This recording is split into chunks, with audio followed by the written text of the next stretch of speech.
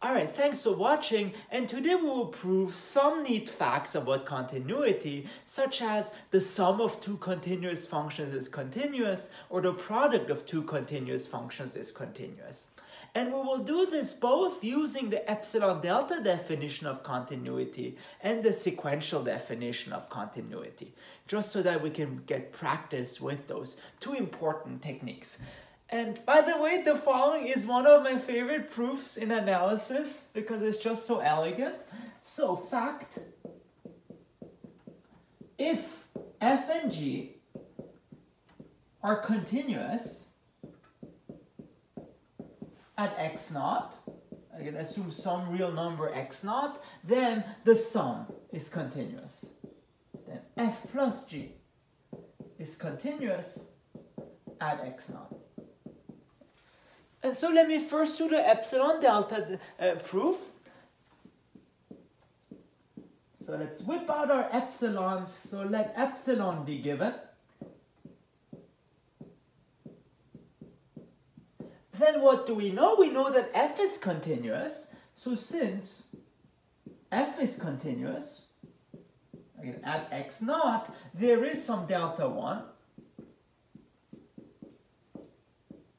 Positive such that, again, for all x,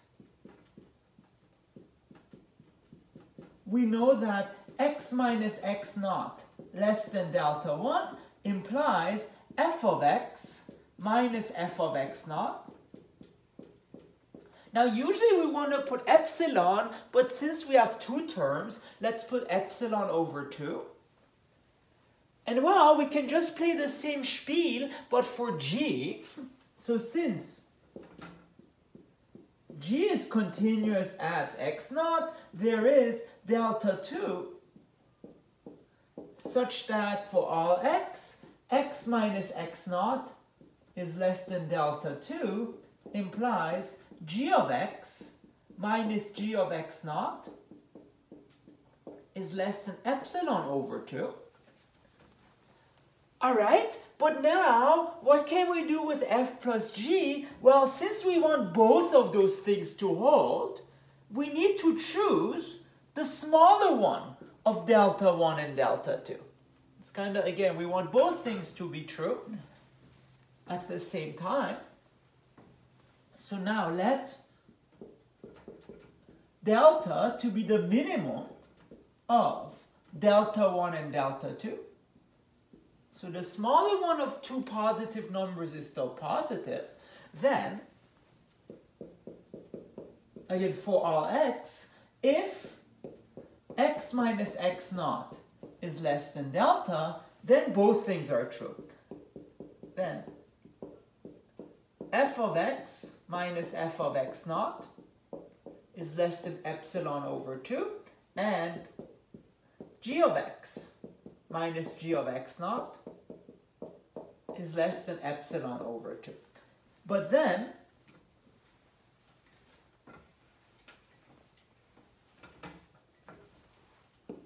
well, what do we want to compare? We want to compare f plus g of x with f plus g of x naught. But all that this is, it's f of x plus g of x minus f of x naught minus g of x naught. That, and that's f of x minus f of x naught. Like Borat says, not x naught plus g of x minus g of x naught. And that's great because now we can use a triangle inequality. So that's less than or equal to f of x minus f of x naught plus g of x minus g of x naught. But here comes the satisfying thing. Both things are less than epsilon over 2. So epsilon plus over 2 plus epsilon over 2 gives us epsilon. And therefore we're done. For all epsilon, we found a delta such that for all x, if x minus x naught is less than delta, then f plus g of x minus f plus g at x naught is less than epsilon. And that's it. Um, And now to prove, so it's for addition, and let me also do the um, sequential definition. So here's another proof. Okay, so suppose uh, xn is a sequence that converges to x naught, then since f is continuous, we get f of xn goes to f of x naught, and since g is continuous, we get that g of xn goes to g of x naught. But then what about f plus g of xn? f plus g at xn, well by definition that is f of xn plus g of xn. But here's the thing, so f of xn, that's some sequence, let's call it Sn, g of xn, that's some other sequence, Tn, and what we know, we know that Sn goes to f of x naught, Tn goes to g of x naught, so by the sum law for sequences, we know that this goes, so the limit of the sum is the sum of the limits. So that f of x naught plus g of x naught by the corresponding video I've done for sequences, and that is just f plus g at x naught.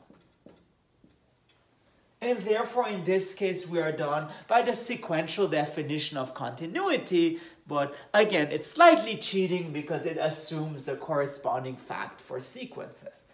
But still, very nice. And now, uh, we want to move on to proving that subtraction is continuous. But for this, we just need an intermediary step.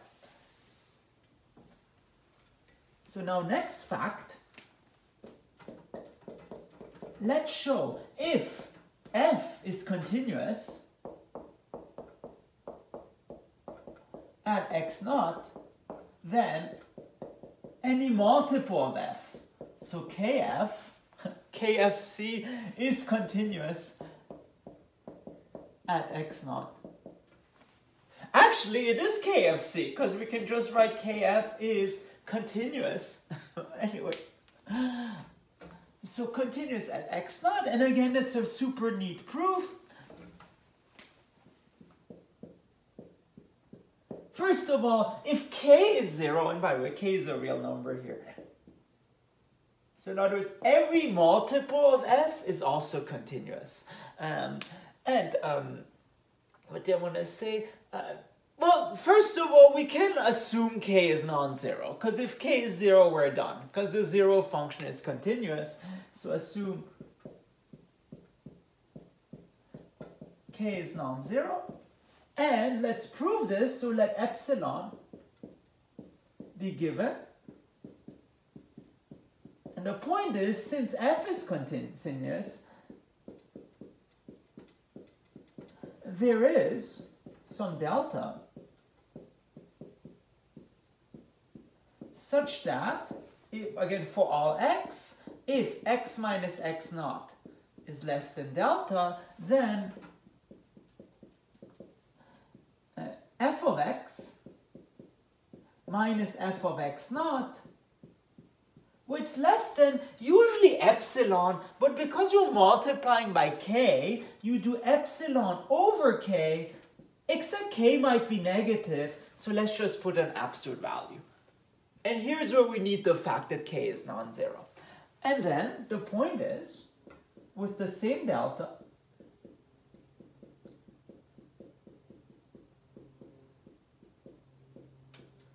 delta, if x minus x naught is less than delta, then, well now let's estimate kf at x and kf at x naught. kf at x minus kf at x naught. Well, the point is the k just factors out. So it's k times f of x minus f of x naught. And that becomes absolute value of k times absolute value of f of x minus f of x naught. But now we know this is less than epsilon over absolute value of k. So it's k times epsilon over absolute value of k. This cancels out and we have our satisfying epsilon. And by the way, I'm not going to do this, but the proof for sequencers is uh, very immediate. If xn converges to x naught, then f of xn converges to f of x naught. So k f of xn converges to k f of x naught. So, but this is equally satisfying.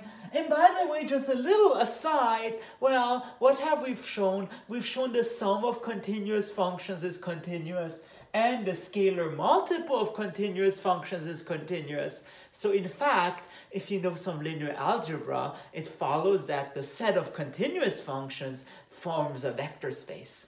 So it is a very good set to consider. And as a consequence now, well, if f and g are continuous,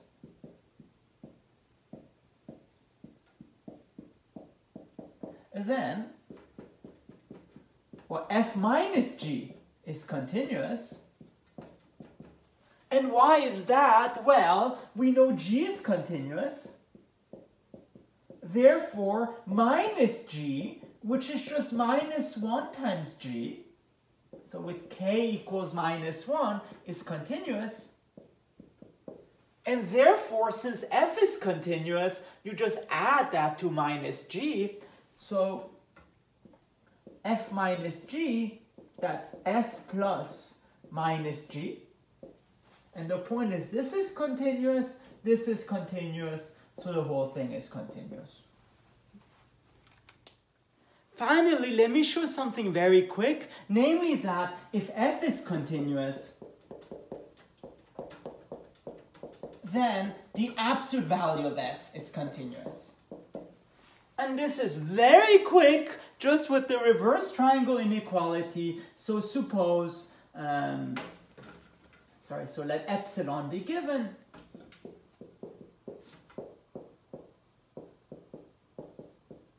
Given then since f is continuous at x naught, then there is is delta positive such that if x minus x naught is less than delta, then f of x minus f of x naught is less than epsilon. But then with that same delta,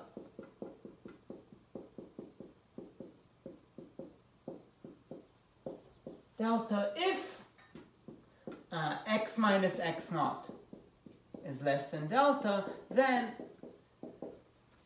well, let's consider difference between absolute value of f at x minus absolute value of f at x naught. By definition, all that this is, it's absolute value of f of x minus absolute value of f of x naught but now difference of absolute values, so we can just apply the reverse triangle inequality. So this is f of x minus f of x naught, and this is s and epsilon. Therefore, absolute value of f is continuous as well.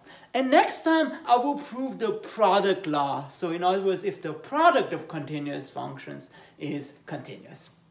All right, thank you very much.